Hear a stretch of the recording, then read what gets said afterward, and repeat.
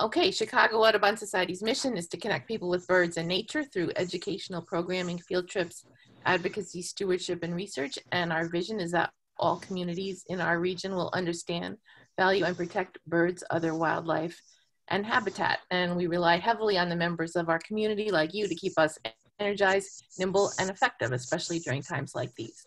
Uh, and you can check out our website for all kinds of great content. Uh, so without further ado, I'm going to um, go into the program. And um, the first segment of our program will be a, like a birding guide to the three sites that we're talking about today, Northerly Island, McCormick Place, and the Burnham Wildlife Corridor. And um, to do that birding guide, we're going to have first uh, Doug Stotz uh, of the Field Museum um, and also Josh Engel of uh, Red Hill Birding. So the two of them are going to be talking about uh, birding in these locations. So um, um, we can just hand this over to Doug. Uh, Doug, if you want to just share your screen. Okay. Uh, there he is. And uh, Doug, Doug, where are you? Okay, hi there, Doug. Go. Hi, Doug. Voila. Okay. Um, so, oops, we got carried away. so we're going to talk about the South Lake front from Northerly Island down to Burnham Nature Sanctuary. Um, this is a close-up of the uh, wildlife corridor, which stretches from the Burnham Nature Sanctuary at 47th up to the McCormick Place Bird Sanctuary um, just south of McCormick Place. It's on both sides of the of Lakeshore Drive in different parts of it. And um, you can see I have a list starting at the south end of eight different birding areas within the, the corridor going up as far as Northerly Island. Um, so this is a broader view that includes um, Northerly Island east of the Field Museum and Burnham Harbor, which um, is adja adjacent to McCormick Place. Um, one thing I should say is that the Field Museum has a long-term study looking at birds hitting buildings at McCormick Place. And um, Dave Willard regularly checks the area between there. So basically this area is for migration. There's very little that breeds in the area and it tends to be slow in winter. And this is getting, getting ahead of me, okay? Uh, I think the fall is a little bit better than spring and October is probably the best month overall. In winter, it's all about um, owls. There are, in good years, there are snowy owls. There can also be long-eared and short-eared owls and there can be rare gulls in the harbors and um, off off of Northerly Island. Um, each of these areas is a um, hotspot in eBird, and so this is the number of species that are known from each of them. You can see Northerly Island is the most diverse with 255 species. Um, there are roughly uh, 300 species in the whole region have been recorded, including some, some significant rarities. I should say that McCormick Sanctuary and Northerly Island are the most heavily birded of these areas. So these numbers are not necessarily indicative of how, how good they are for birding. The area between 39th and 43rd is not an eBird hotspot, and so I don't know how many species have been recorded in there. Um, access, you can get metered parking at Northerly Island at 31st, at Oakwood, which is 39th, and at the south end of the Burnham Sanctuary, which is 47th. So it's fairly easy to drive here and park. The currently the I think the parking is two dollars an hour. Um, the lakefront trail runs through the whole area, so you can get there by bicycle very easily or walking from either the north or south. Uh, the 146 bus goes to the Adler Planetarium, so you can, um, even though I can't spell close, you're close to uh, Northerly Island. One thing you should keep in mind, we'll see what happens with, I don't know what's going to happen in terms of uh, fans for the Bears games, but typically when there is a Bears game going on, you can't access the areas from 31st Street North. So that means several Sundays in the fall, which is a real pain in the butt. Okay, so at each spot, there's a slightly different set of things. At Northerly Island, it's good for migrants, especially uh, sparrows, water birds, including shorebirds. You can sometimes see them on Northerly Island proper, and they also use 12th Street Beach, although 12th Street Beach is not nearly as good for shorebirds as it used to be since they put in the, uh, the uh, concert facility. There are breeding grassland sparrows there. It's uh, one of the better spots for snowy owls and short-eared owls during migration can be pretty common there. Burnham Harbor is mostly migrant waterfowl, gulls, swallows. That's most easily birded from the northerly island side of things. At the McCormick Place Sanctuary, this is probably the best spot for migrant land birds along this whole area and you know, good numbers of sparrows and warblers. At 31st, uh, waterfowl and gulls are present, and it's it's a place that in the recent past has been consistently good for snowy owl. The Burnham Wildlife Corridor is mostly about grassland birds. It's uh, restored grasslands, and um, dickcissels and savannah sparrows breed in there. I've had Henslow sparrows singing in the summer there and migrants are use it heavily, especially sparrows. Oakwood at 39th Street is probably the best spot to see migrant waterfowl. You're raised up a little, it sticks out a little into the lake, and it's a good spot to see things like scoters and long-tailed ducks and other other waterfowl as they go by.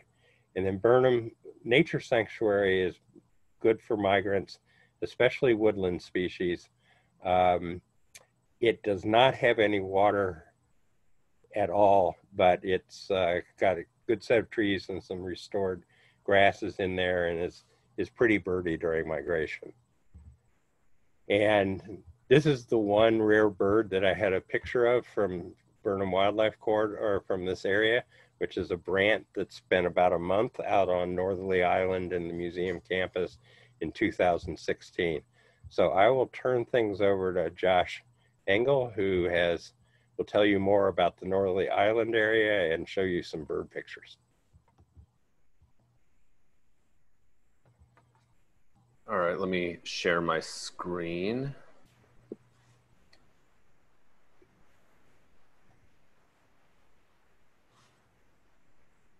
Um, Doug already showed a map. Thanks, Doug. Um, yeah, so Doug already showed a map, but here's another one that uh, I mocked up very quickly. Um, but you can sort of get a sense of where the city of Chicago is compared to, or downtown area compared to where we're talking about.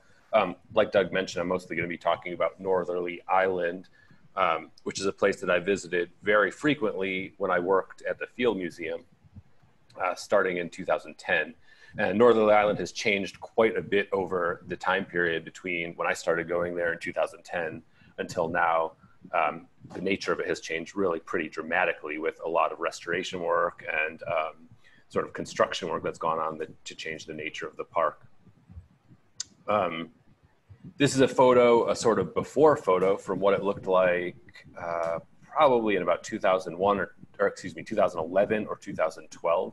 Um, I should mention that before Northerly Island was a park, which wasn't all that long ago, it was a air, small airport that served downtown Chicago.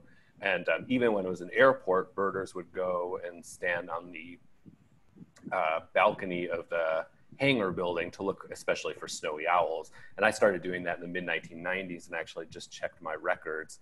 And uh, I saw my first ever snowy owl there uh, in December of 1995 as a 13 year old. Um, but I started going back there a lot when I worked at the Field Museum in the, uh, starting in 2010. And it was a wonderful park. It was pretty simple. It wasn't anything fancy, had, but you could see that it had a lot of this nice tall grass. You can see it both in the foreground of the photo and um, a little bit farther back. And it's also a place that has spectacular views, both of the lake and of downtown Chicago.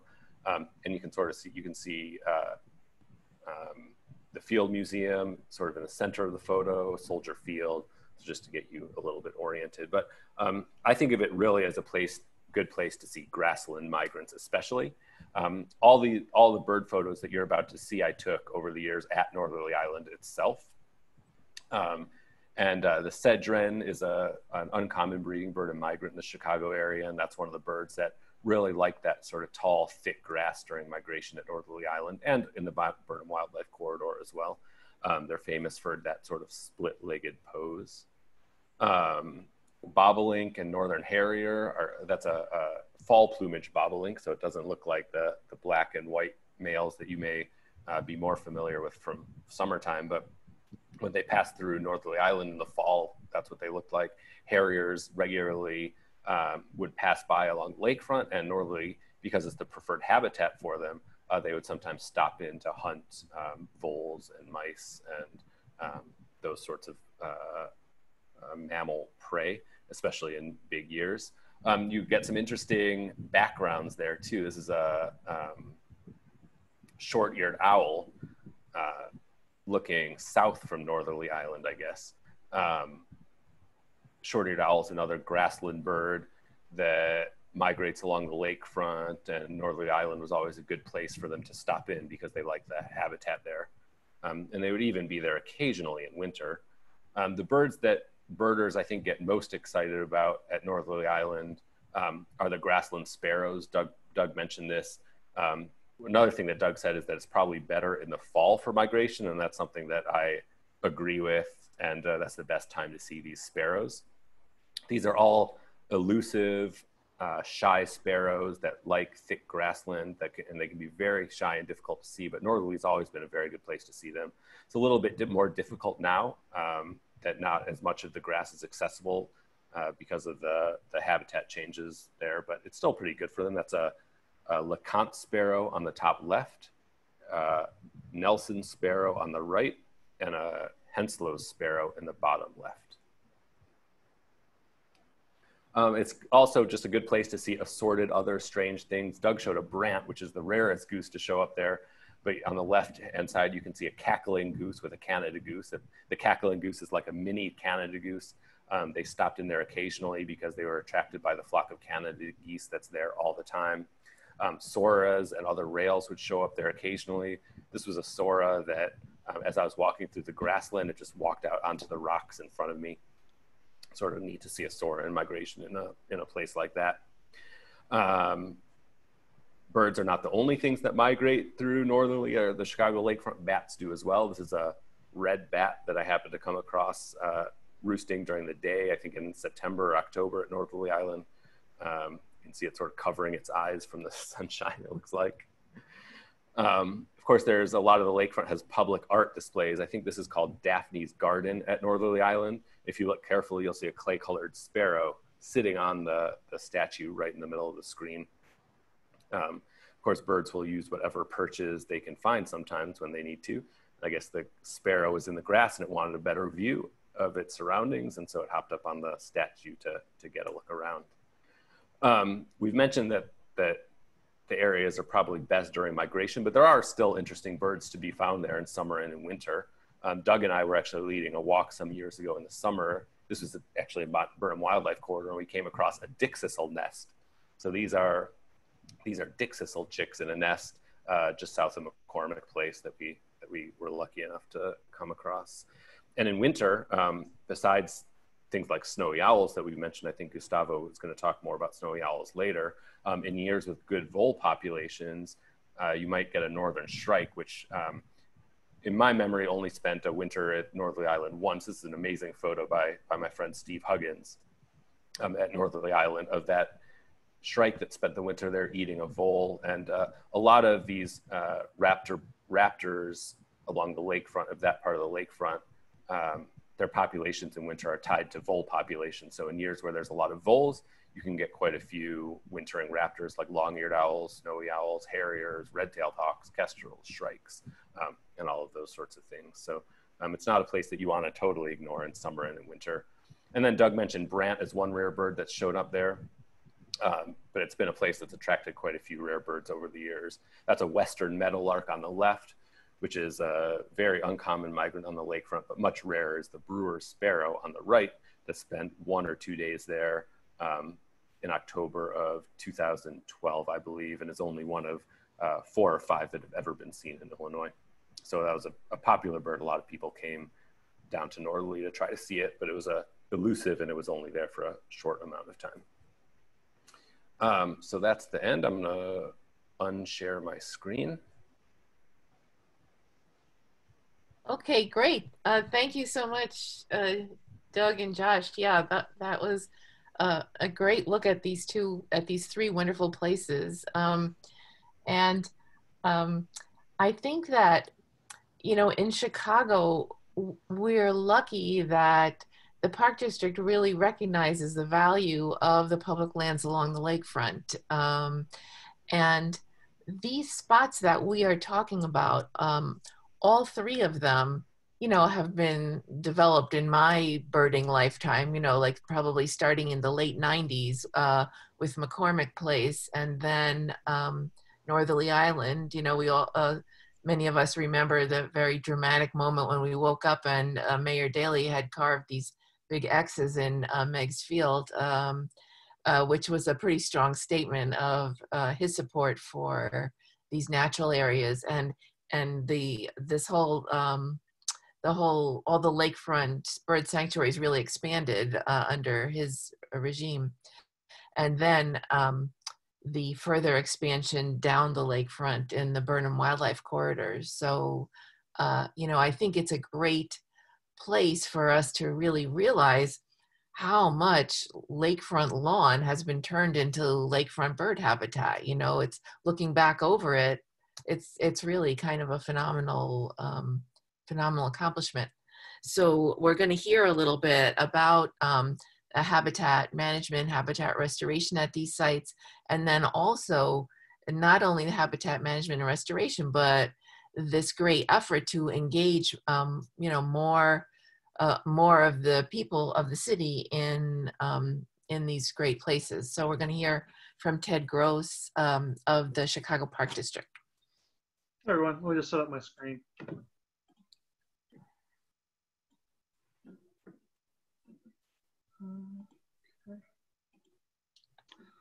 All right, can everyone see three nice pictures of Northerly Island up there right now? All right, fantastic. So yeah, I'm Ted Gross. I'm a program specialist for the Burnham Wildlife Corridor uh, with the Chicago Park District. Uh, my office is at Northerly Island, and I'm also kind of subbing in today for uh, Tish Daniel, who is the um, center director for Northerly Island. So, uh, and yeah, I'm going to talk. Site management isn't entirely my expertise here. With full disclosure, I'm more on programming. Um, I'm going to do my best to kind of talk about some of the kind of idiosyncrasies and some of the unique qualities about uh, wildlife and natural areas management at Northerly Island. But first, um, just a couple things to address. If you're trying to get out to Northerly Island, uh, I know our lakefront parks are not as accessible as they were pre-COVID, um, but they are still accessible, just not really for parking. Um, so you have to park somewhere outside of there, um, and then you can bike or walk into them. Um, I know sometimes the city has had to do sort of an extra closure. I heard a little bit about Montrose uh, with that um, when big crowds have developed. Um, typically, I don't know what's going on with Montrose right now, but typically it's only been like a day when it's happened, and then it's back open again for pedestrians. So I encourage you to come. Uh, just keep it moving. If you can, wear a mask, please, um, and go see some birds. The areas are as beautiful or more beautiful as they've ever been. Uh, so Northerly Island, it's a cool place. We do a lot of cool things out there. Um, right now, if it were a normal year, we'd be running some kayaking, and you can see in the picture, um, which is a great way to kind of get out and explore Northerly Island in a way you couldn't typically. Um, you can kind of get in the water by the waterfowl if you want. Um, we do programming all year round. In wintertime, we have Polar Adventure Days uh, where Flint Creek, uh, who is a bird rescue in the Chicago area, uh, will bring um, a series of raptors and other native wild birds um, to view. Uh, and you can kind of have a dialogue with them and talk and ask questions. Um, and it's always a cool place to see birds really up close and uh, get to know them. So when programming returns to the Park District, check us out, and I hope you, you come to some of those things. So Northerly Island specifically. Uh, we kind of already seen these maps a little bit.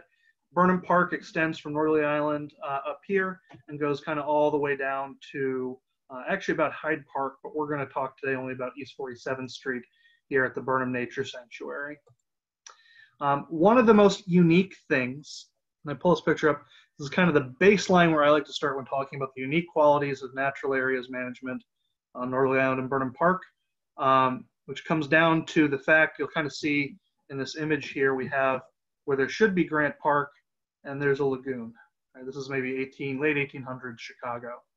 Um, and that's because Northerly Island and most of our lakefront on the south side is actually entirely man-made. Uh, the natural lakeshore would have come into Chicago um, a little bit further than it, it, shows today, closer to the train tracks. Um, and so a lot of the land that we're talking about isn't actually, it wasn't historically a prairie or an oak savanna or anything like that. Um, it is an entirely man-made island, meaning the soil underneath uh, is going to be a lot of infill. It's going to have bricks in it. It's going to have some great topsoil, some sandy places. It's a very strange mix of things. Um, the, this photo here uh, is taken around the 1933 World's Fair, um, which is what the island itself was built for. Um, kind of looking at it today, it's undergone a lot of changes. We talked a little bit about how after being a site for the 1933 Century of Progress Fair, um, the island was turned into an airport. Uh, and then in 2000, the famous bulldozer incident happened, and it was from there turned into a park. Um, an important redevelopment since then is that around 2013, uh, a new construction began where we totally redeveloped the island. It was initially completely flat, um, going north to south, uh, and we added in the lagoon uh, and the hills and all this beautiful stuff, the, the loop pathway, um, based on a design by Jeanne Gang. Um, and the island has kind of become what it is today. Uh, going back to this idea of it being not a natural natural area, it's been kind of cool to see it in the past few years if you've been there since 2015 when it reopened, um, to really see a very heavily planted space where you can see exactly where someone put in um, cut plant or a number of plugs, and it looks very gardened to something that this year especially um, to me really looks like a true natural area. Um, but also important to keep in mind is it means that everything in the Burnham Wildlife Corridor and Northerly Island is planted, right? These are not natural spaces with natural incidentals. When I've worked in some of our more uh, restorations on, say, the southeast side, where there were historic wetlands, um, we sometimes find incidentals like orchids or um, even amphibians and things that have been living there through pollution, through environmental change, through whatever development over time, and are still there. Uh, when it comes to Northerly Island and the lakefront, everything is there somewhat intentionally. Um, and the only things that aren't there intentionally tend to specifically be invasive species that we don't want. Um, so it's just a different way to think about natural areas management, right? It's entirely urban here. We're not talking about a pristine place or even a place that we're trying to build back to something that it once was. Here we kind of have an opportunity where we're trying to build it um, into whatever a natural area could be, right? So it's a very human effort uh, here. Um, step back a moment. So looking at this map on Northerly Island, I know one of the big questions that's come up lately has been um, on the path sorry, kind of over here on the Lake Michigan side. Um, I'm sure this year anyone who's been out there has noticed it's no longer there. Uh, it was washed out. Again, one of those issues with being a man-made island, it means that um, there wasn't a deep root system already intact that we had to work with. Uh, it means that uh, when the waves came in about a year or so, after, not even actually about a couple months after the area was completed, um, it knocked out some of the pavement on this side. Uh, and unfortunately, it's been just too difficult and costly to replace those. So a cul-de-sac's been built in.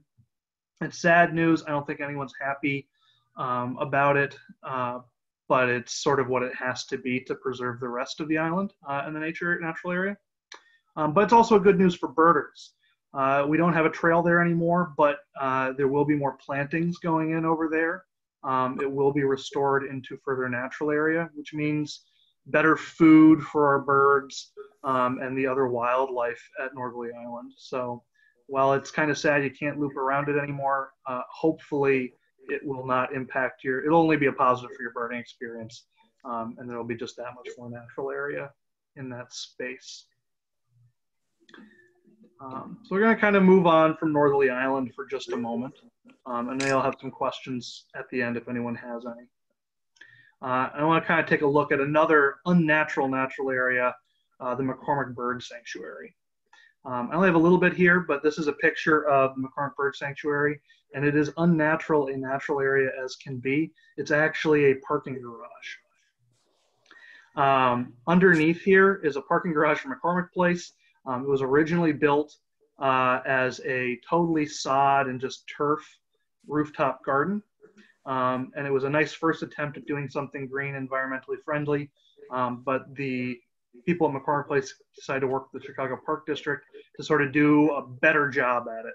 Um, and so we've tried to find a way to make it a uh, actual natural area, again, on top of a parking garage. Um, and this has some difficulties, just like in planting Northerly Island, you have to think about planting and finding seeds for every kind of species you need to make this a complete ecosystem. Um, here we have to kind of rein that in further. Uh, the topsoil here is only three feet deep. Um, prairie plants have root systems that only begin at three feet deep. But typically, there's going to be a lot of species going as deep as 15. Um, and not to get too ahead of myself, this is one reason why they can be very good for lakefronts, um, as they can hold that shore intact. But uh, anyway, stepping aside, uh, so we can't pick the wide variety of species that we might want here. Um, we have to look at unique areas of prairie ecosystems that have short so topsoil layers like this. So you're looking at things like dolomite prairie um, or other very shallow root system prairie ecosystems. Um, predominantly, some of the species you're going to see here are going to be uh, cup plant, which can grow very tall and has somewhat deep root system, but here it's managed okay. Um, a lot of bee balm um, or, or, wild bergamot uh, and, and, some grasses as well. Uh, this picture is shown in kind of early July. If you were to go there right now, and I really encourage you to go ride a, a bicycle down the lakefront path, and it's a just a turn off um, just south of McCormick Place. Um, you can go. There. There's a gate. You're welcome to open it. It's just a push swing open gate. Go walk around. You're going to see it's going to be full of yellow flowers um, and a lot of purple right now. Um, and it is a great place to see a wide variety of birds. I think Doug Stotz did uh, uh, had a nice graphic there that after Northerly Island, this is going to have the second greatest um, biodiversity of birds uh, on this uh, within Burnham Park. So it's sort of a second view, kind of looking out of the lake here. Um, but part of the reason why I'm sure it also has so much diversity is that in addition to just the rooftop garden, um, the area around it also has a lot of additional biodiversity um, where we can't do deep plantings there. Um, we have done it a little bit to the south. Um, and so you go there, you'll find some of the only examples of shrubland, um, sort of areas with a lot of lower bushy plants, which tend to have a lot of berries, which are good for birds, um, as well as a little bit of an oak savanna type, I'll say, habitat um, and ecosystem south of there too. So it's a cool place. Again, I encourage you to check it out. Um, it's fun to go walk around. Uh, part of the reason for this also is that we have this map here as a nice example. Lots of these mulched trails. So in addition to the lakefront trail, which is our blue line here, going all the way south, uh, we have a variety of mulch trails you can kind of get off and explore. And I encourage you to please get off the main trail and go walk and explore. If you got a bike, please don't bike on the mulch trails. Um, just uh, walk your bike along the side of you um, which is a good quiet thing to do if you want to go see birds. Uh, now, the Burnham Wildlife Corridor is a cool place for another reason, which is that it extends on both sides of Lakeshore Drive. Uh, so, in addition to just the lakefront areas here, there is also some spaces on the western side of Lakeshore Drive. All are accessible, and it should be accessible, uh, including right now. Uh, one of my favorite spaces is the Burnham Nature Sanctuary. Um, I'm sure others will. It's not the most diverse space in terms of bird species. One of the things I kind of enjoy about it is it is actually kind of loud. Um, it's right next to a lot of traffic. But for me, that means that I can get up close to birds and wildlife in a way that I can't in a quiet space. Um, they don't always hear you coming. Um, and it's also outrageously diverse. Within this tiny space down here, we have, um, I'd say, some a little bit of grassland, not quite enough for me to call it a prairie, um, but definitely some beautiful oak savanna uh, and woodland going all stretching all the way up here um, all packed into this tiny space down there. Um, so it's a really cool place to see a wide diversity of, of ecosystems like that. Best of all, it's not really well known. Um, when I'm there, usually there's one or two other people there, and that's it. It's not on the lakefront trail. You have to know it to find it. Um, parking to get to these places, especially right now, there is parking lots available. As you know, right now, um, those parking lots are closed, including on the western side of Lakeshore Drive. Um, that's unfortunate, but there is plenty of street parking available. Um, to get in here, I would encourage you to park around East 35th Street over here um, by the Douglas Tomb site. There's plenty of street parking. The Great Migration Bridge, footbridge, you can walk right across or ride a bike over to access these areas. Um, and around East 47th Street here, Cornell Drive has some street parking on it too um, that you can use to easily get in. Otherwise, I think it's been mentioned if you have a boater's pass, um, you can typically use those to use the boating parking lots within there. Um, if you don't, unfortunately, they're not accessible to you right now, but uh, um, these are the best ways I've found to get in, uh, which you can do and should do. Again, as long as you're just keeping it moving and being respectful of others during the pandemic. Uh, and I'm going to kind of wrap it up here and talk a little bit about one last really cool project that uh, the Park District, the Field Museum, and the Nature Conservancy has all been working on, and this is Roots and Routes. So, talking a little bit earlier about developing land in a natural area, the first question is usually how do we make this space the best for the wildlife? Um, but we're in a city, and the wildlife isn't everything around us. Um, a second big question is how do we make this natural area best for the people who live around it. Um, and if we really want to create a natural area that people care about, they're going to keep coming back to, that they're going to feel is a part of them, and hopefully in the future, um, they're going to continue to support in any way they can uh, for the longevity of it, uh, then we need to build way, a myriad of ways for the public to engage in the park. Roots and Routes is one attempt at doing that, and I think it's been a pretty cool and successful one. Um, our mission statement is that it's a collaborative project aimed at creating and sustaining the longest stretch of lakefront natural area within the Chicago Park District system, the Burnham Wildlife Corridor, in order to maximize benefits for neighboring communities and nature.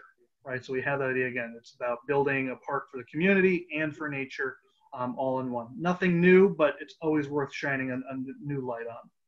Um, in addition to our stakeholders that I mentioned, um, we have a key part of it is our many community partners.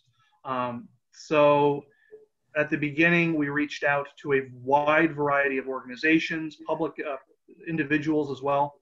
Um, anyone who is interested in supporting the Burnham Wildlife Corridor and helping to preserve it, um, especially in the communities neighboring it. Um, we've built some really wonderful partnerships with the Chicago Chinese American Museum, um, Sacred Keepers Sustainability Lab, uh, the American Indian Center, Openlands, of course, there's some big ones in there, uh, Casa Michoacan, Southside Community Arts Center, um, and really the key is again, these are going to be primarily organizations from those neighborhoods that sit immediately next to um, or have a lot of usage of this space, right? Kind of not just Chicago at large, really focusing in on the immediate people who live around it um, to help them feel a part of this park. Uh, and one of the coolest strat- ways that we did this is we created the Roots and Routes gathering spaces. So on this map, you'll also notice um, a number of these little graphics. Um, and each one notes a separate artistic gathering space representing uh, one of those neighboring communities. So we have one for um, far western uh, Little Village, which has a lot of usage of this space, um, even though it is fairly far west compared to the other ones. Chinatown has a uh, gathering space, Pilsen, uh, and then Bronzeville, which of course sits right on the corridor, um, has two unique gathering spaces. And when I say by gathering space, I mean it's supposed to be a part of that community right here in nature. Um, and it's an artistic representation, I'll show you in a second, um, that allows an artist in that community to express how their community, their culture, their identity connects uniquely with nature. This is one of them, La Ronda Parakata. Um, it sits right on the south side of Margaret T. Burroughs uh, or 31st Street Beach. Um, La Ronda Parakata means um, the round of butterflies in both part in Spanish, La Ronda, and Parakata, um, which is an indigenous word. Um, the people of Pilsen, uh, many of them have heritage uh, in Michoacan. Uh, and so there's this connection that uh, Hector Duarte and Alfonso Piloto Nieves saw um, of this migration of people from Michoacan to Chicago. And as you may or may not know, the migration of monarch butterflies, uh, which overwinter in Michoacan and fly up to Chicago and further north, right, and then back. So there's this way that the community connects with nature, um, with these kinds of wild spaces here in Chicago, um, and it goes right down to the roots of where they're originally, uh, you know, where the, their their culture and their identity uh, is from. Uh, an additional benefit to this is that when people care about a space and they feel that their identity is represented in a space, they want to take care of it. Uh, so we have a series of events we allow them to that no allow them, but that they often will have at these spaces. This is from um, La Noche uh, de los Muertos event, uh, I think in 2017, maybe 16. Uh, and often these events are going to have a lot of stewardship. So they're not just uh, creating this artistic space, but they're going to help plant uh, and care for the wild areas around this gathering space. Um, this is another one um, set in stone representing Chinatown. It's based off of um, what's known as a scholar's rock, um, which is very typical of Chinese gardens. The idea is that you sit and you view an object like a rock like this, find inspiration, um, just viewing and studying its nuances. Um, and you can do that, of course, in a Chicago environment. We don't have craggy rocks like this. We're not mountainous like China. But of course, uh, you can do the same thing with anything in nature. You can sit and watch and meditate on it and find inspiration. Um, they host every year, uh, and hopefully we'll be doing a digital, digital version of it this year, um, the Mid Autumn Festival. Uh, I think this year will be on October 3rd. Uh, likewise, in addition to celebrating Chinese culture at this site and this um, important event, uh, they do a lot of stewardship there, right? They're going to care for that space um, and make it uh, an improved space. They do a lot of plantings, they bring in the general public, um, and it's a lot of fun.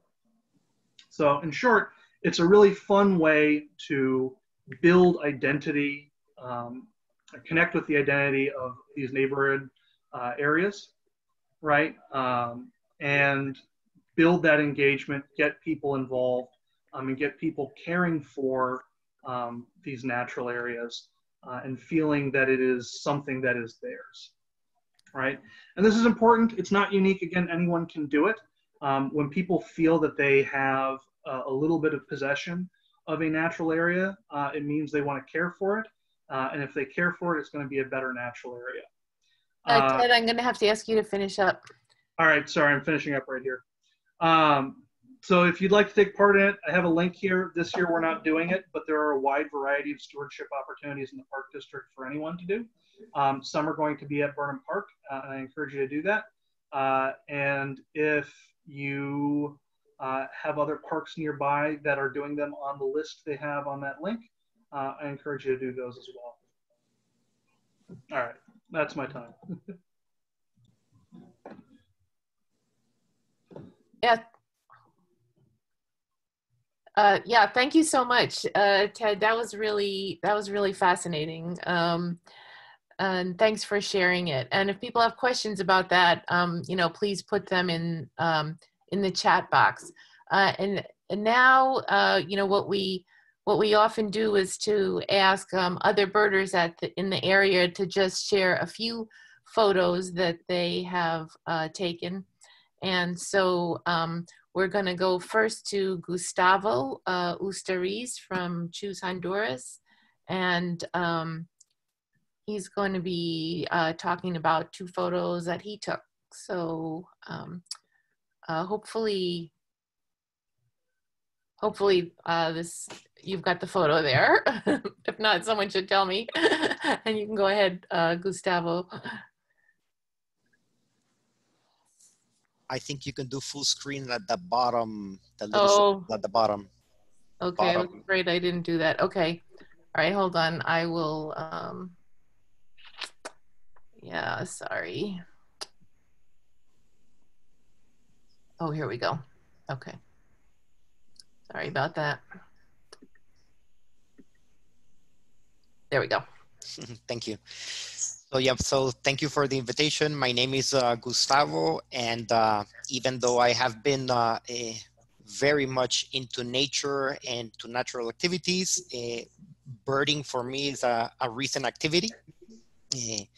I grew up uh, in the tropics on a farm in front of the Caribbean Sea, so everything was nature around me. And since moving to the Chicago region, it's sort of fascinating to be able to say that I will travel into a city for natural activities. To me, that's still very fascinating and new. So uh, I do most of the birding in Lake County since I live up here, and uh, been lucky enough to uh, have so many birders from uh, Lake and Cook County uh, letting me tag along and ask tons of questions when we are out. And one comment, uh, sometimes as a joke, that a lot of people kept telling me was, you know, a lot of the times when you see a snowy owl, it will be out in a field and there is a possibility that you are going to confuse a plastic bag with a snowy owl. So people kept telling me that, you know, you need to be very careful and, and have a lookout. So this past February, when I started seeing reports that the snowy owl was at the uh, 31st Street Harbor, I uh, jumped on the opportunity to be able to come down and see it. And uh, I uh, parked my car and took out my scope and started walking. And a few people were leaving the uh, beach at the moment, and they mentioned that they had seen it uh, in the area. So I, I was kind of excited about that. And then I kept walking, and I put my scope and started scanning the uh, the boat areas, the boat docks, and there it was. I think I can say for a fact that I did not see a plastic bag. so that was very exciting. Uh, after taking that photo in the uh, in in the uh, dock area, I kept walking to towards the end where the uh, where the rock jetty starts, and I was able to see a second snowy owl that was way out in the distance. Uh, so that was a very exciting. This was a live bird for me, so um, so very excited about that. And then when I was walking out, uh, if you can go to the next photo. I had an extra bonus that I was able to see a long-tailed duck there as well, uh, which I had only seen before in flight uh, going over the lake. Uh, so being able to see one up close and you know that sort of like a pattern that they have in the face it was also an, an interesting treat for me to see so so yeah to me it's a very interesting concept of driving into a city to see and enjoy nature and definitely chicago uh, has a bounty uh, of that available for for people visiting.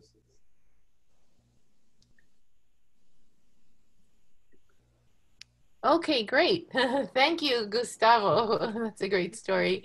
Okay, and we've got one more um, one more birder who's going to talk to us, and that is Claire Halpin.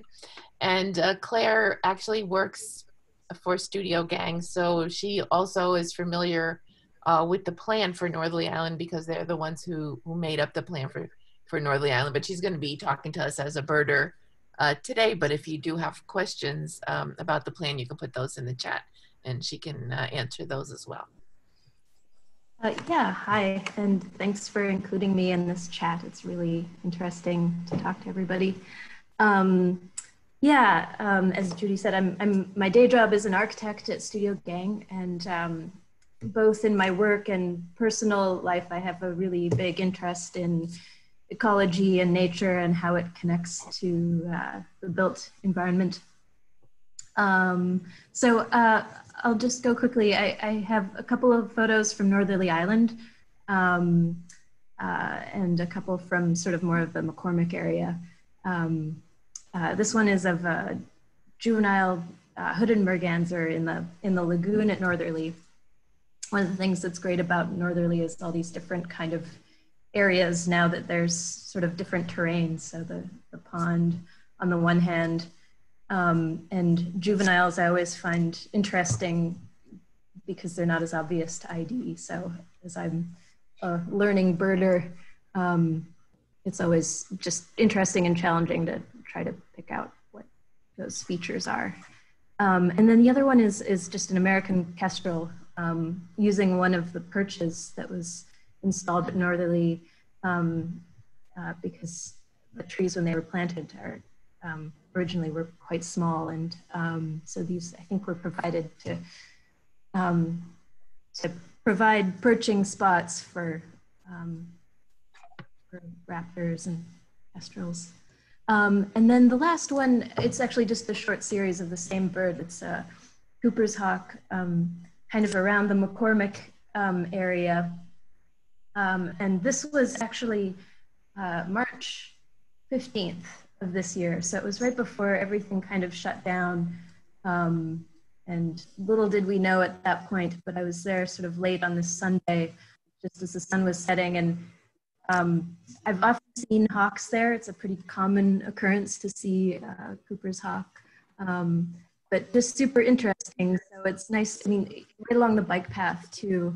Um, in this case, they use the, you know, an interesting example of birds using built even built um, features like light poles um, to kind of scan around. And then it tried to get into a squirrel's nest, I think unsuccessfully.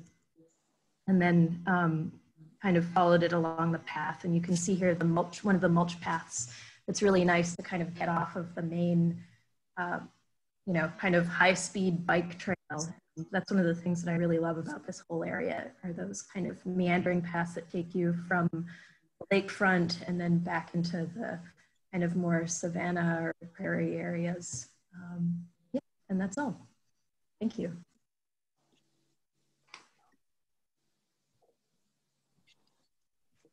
Okay, great. Uh, thank you, Claire.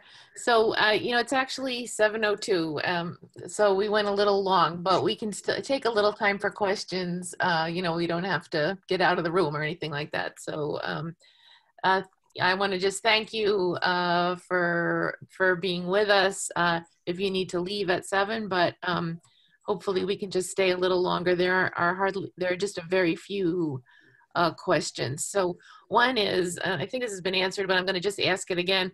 Uh, currently, there's no parking at Northerly Island and no parking at 31st Street. Is that correct? That's addressed to Ted.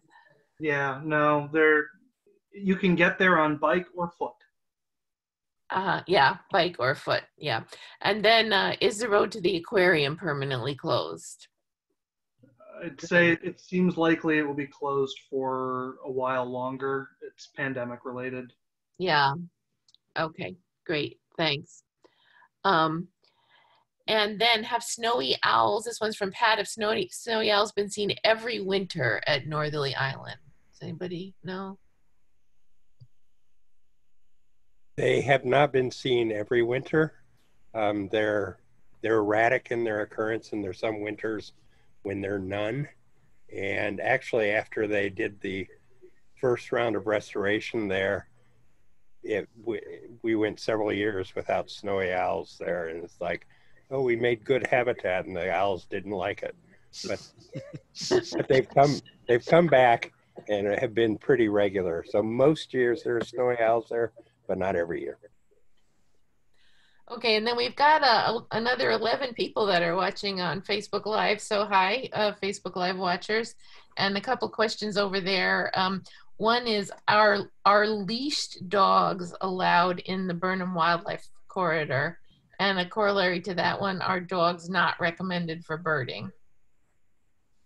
Um, I can't speak for birding. I can say at the BWC, uh, no, anywhere in the park district that are set aside for as bird sanctuaries, um, we try to, we ask you do not bring your dog. About generally, anybody have some thoughts about whether it's a good idea to bring a dog birding?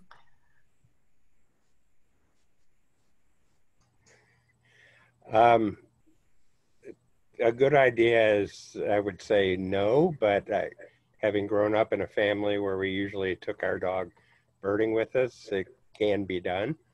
Um, the, you know, keeping it on the leash and um, is is an important part of that because they can loose dogs can do um, significant damage in some areas. Okay, and then um, I do just want to comment that I did put a link to the tip jar in the uh, chat in case anyone would like to make a donation. You know, obviously we're not for profit and we rely on your donations and appreciate all of your support.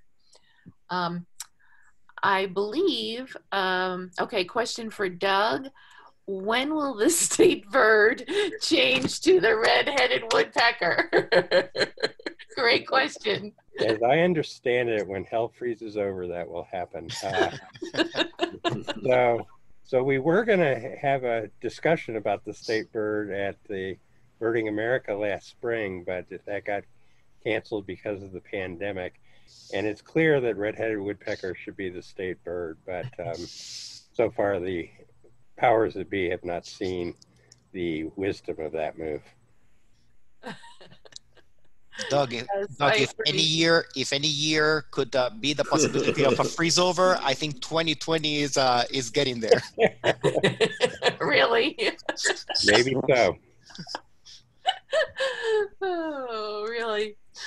Okay, and then Cassie just wants us all to know that a dog is okay birding if it fits in a backpack. Uh, and if you follow her, uh, you know she has a cute little dog. Um, oh, uh oh, and on our Facebook page, I have to say we've got a little controversy. Never cardinal, always. So that's from Kim, uh, Kim Ruffin. oh well, Kim's wrong, but that's okay.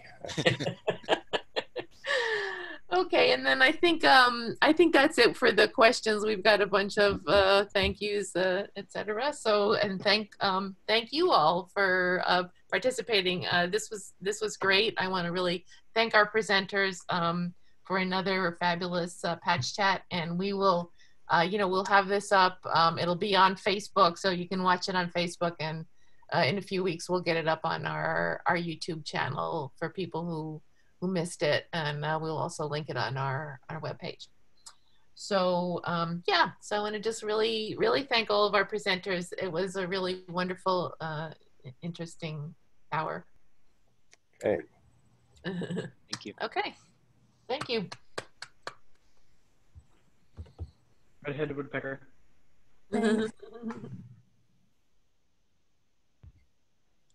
okay.